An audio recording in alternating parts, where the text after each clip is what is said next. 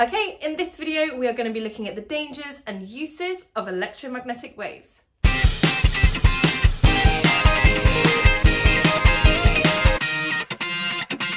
Make sure you watch the introduction to electromagnetic waves first. So we are going to start with our smallest frequency waves and they are radio waves. The main use of radio waves is communications. Long wave radio waves can be transmitted and received halfway around the world. That's because these long wavelengths allow the waves to be diffracted. That basically just means that they can bend around hills, tunnels, buildings, and around the curved earth. That means a receiver can receive a wave even if the transmitter isn't directly in line with the receiver. Shortwave radio are not diffracted as well but they can still be received at large distances between the transmitter and the receiver. They use parts of the Earth's atmosphere, the ionosphere, to reflect waves back down to Earth. An example of something that uses short wave radio is any Bluetooth device, like my AirPods. I don't know if you've ever tried it, but you can actually get quite surprising distances away from your phone without any interruption to your Harry Styles bangers. Radio waves that are used for TV or FM radio have quite short wavelengths. So, in order to get reception, you need to be in sight of the transmitter. That's why you'll often see those TV aerials on the tops of chimneys. Okay, now bridging the gap between radio and microwaves, we have satellite communications. This is where a transmitter on Earth sends a wave out to a satellite in space. The satellite in space then transmits a wave back down to Earth to the receiver. Used for satellite TV, satellite phones and internet, and military communications. Those satellites must hold a lot of secrets. So we either use high frequency radio waves or microwaves. These waves can easily pass through the Earth's atmosphere without being diffracted, reflected or refracted so they can reach the satellites easily. Another use of my microwaves is cooking. Speaking of which, I've just made myself a delicious little treat in the microwave.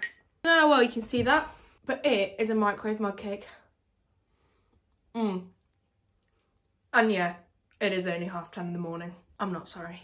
So, microwaves are absorbed by water molecules in food and transfer the energy to thermal energy of the water molecules. The water molecules heat up and then they transfer that energy to the other molecules in the food until it's cooked. This means you can cook food really quickly, like a cake in 40 seconds. However, there is some debate as to whether this property is also a bit dangerous because since cells in your body contain a lot of water, the microwaves can cause those to heat up too. Jury's still out on how harmful this actually is. Next wave on our spectrum, infrared. These can be used for thermal imaging. You can see heat loss through different parts of, say, a house. They can be used in security cameras. A person gives off a lot of infrared radiation, so an intruder can be detected. Cooking, infrared causes things to get hotter. Heating elements on toasters use infrared radiation. Speaking of which, no, I'm joking, I don't need toast and a cake this morning. And again, for communications, Infrared signals are used in optical fibres. They can carry data across very long distances. Also, an important one here, TV remotes, because who wants to get up off their sofa to change a TV channel? However, infrared radiation can lead to burns because of its heating effect if it is absorbed by your skin. Luckily, most infrared radiation is reflected. Okay, next on our list, visible light, which we use to see. But is also used in photography. Visible light is detected by digital cameras and converted into electrical signals to give you your photograph. Our next electromagnetic wave is UV. UV can be used in security and it takes advantage of a property called fluorescence. When UV is absorbed by fluorescent materials, those materials then re-emit waves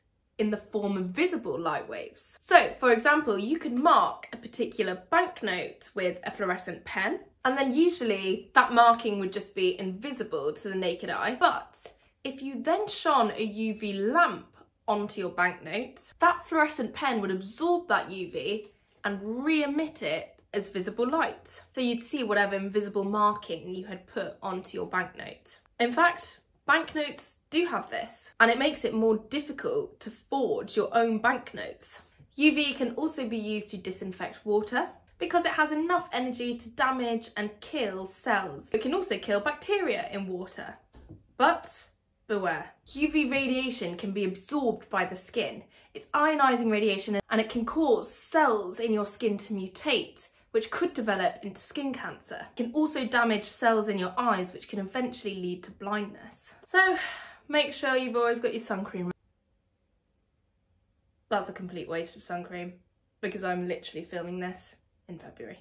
Okay, on to x-rays. Now we all know that x-rays can be used for medical imaging, but how it actually works is your x-ray film begins clear. And x-rays are really good at penetrating soft things like flesh, but they are absorbed by more dense materials like bone. Your x-rays are sent through somebody's body, and those that make it all the way through hit the clear screen and darken it, those bits of your body that are bone absorb those x-rays and leave those parts of the x-ray clear. So then you can build up an image.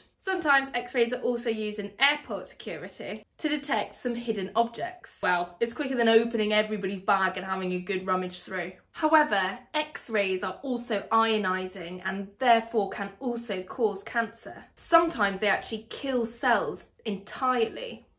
This causes radiation sickness, even eventually death.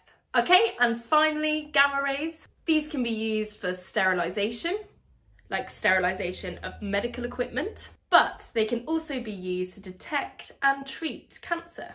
To detect cancer, somebody will ingest a source which emits gamma rays. Gamma rays emitted from the body can be detected by a detector, and doctors can then use that information to determine if and where any tumours may be. Since ionising radiation can kill cells, it can also kill cancerous cells.